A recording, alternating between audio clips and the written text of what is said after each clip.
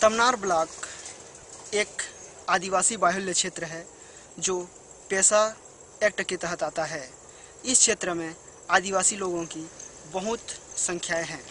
आदिवासी ज़मीन को कई कंपनियों द्वारा धोखे से हड़पा जा रहा है। ऐसा ही केस भुईकुर्री पंचायत के आश्रित ग्राम बरपाली में आया है, जहाँ नंद कुमार एवं उनके परिवार की जो ज़मीनें हैं, उसको धोखे से 2010-11 में हड़पा गया है।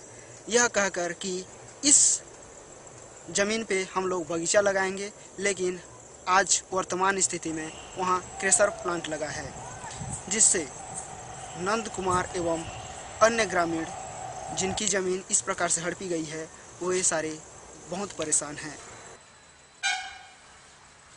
पेड़ पौधा जगहों की ही सब। हमार कर ज़मीन ला ठक के ले लिस नटोर अग्रवाल। कहाँ कर कार्रवाई करा? सब ले शुरू तनमार में करें इसमें।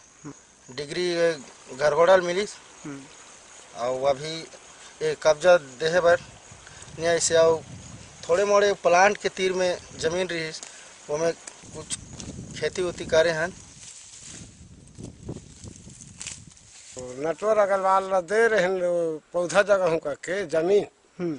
तो अभी लान के दस टका दे दी से। हम्म। तो ओकर सब हमार महुआ पेड़ में रही। बीस तीस हज़ार के साल में निकले। हम्म। तो सब मर गई। इतना कम रेट में कैसे दे दे एक लाख चालीस हज़ार? तो अब का कर कूदते रहे रोज दिन कचर कचर करे।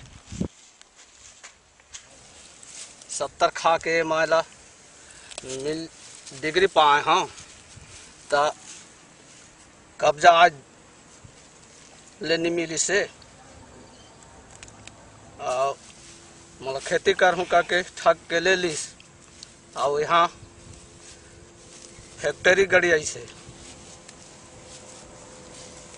नटवर अग्रवाल।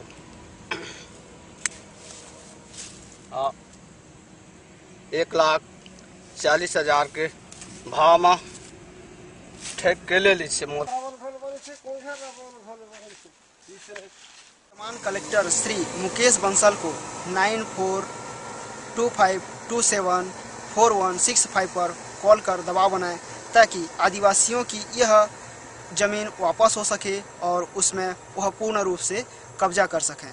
मैं राजेश गुप्ता, जिला रायगढ़ छत्तीसगढ़ से इंडिया अनहर्ड के लिए।